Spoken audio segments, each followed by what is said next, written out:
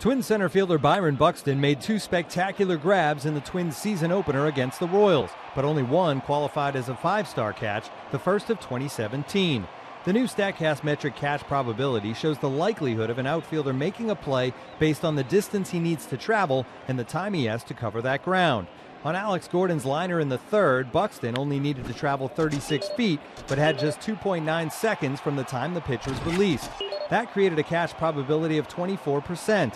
Any catch with a probability between 0 and 25 is a five star catch, the most difficult variety on a scale of 1 to 5 stars. In 2016, Buxton made six of those, and now he has MLB's first of the new year.